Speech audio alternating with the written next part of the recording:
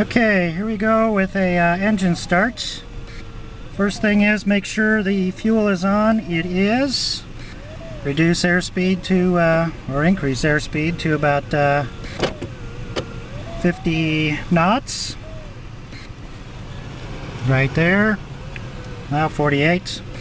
Okay, power on to the um, ILEC. Propeller switch up. Watch in the mirror. Watch for the propeller to come up. You can see the propeller blade coming up. And it's up. We've got a green light on the ILEC, which means we can go. Ignition on. Prop lock off. Throttle set. Kind of hard doing this one-handed. A little bit of prime. And crank the engine. Sometimes it'll start right up, sometimes not. Give it some more prime.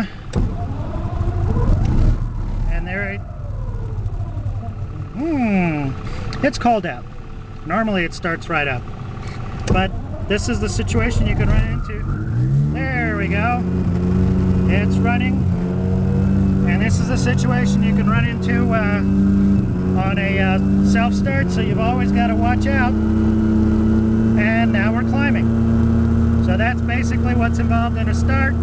Shutdown is throttle back to idle, let the engine slow down a bit. It uh, really doesn't slow down much um, with uh, power. Ignition off, wait for the propeller to stop, watch in the mirror, okay it stopped, prop lock on, wait for the speed up a little bit, wait for the prop to come vertical and then uh, propeller down just like so.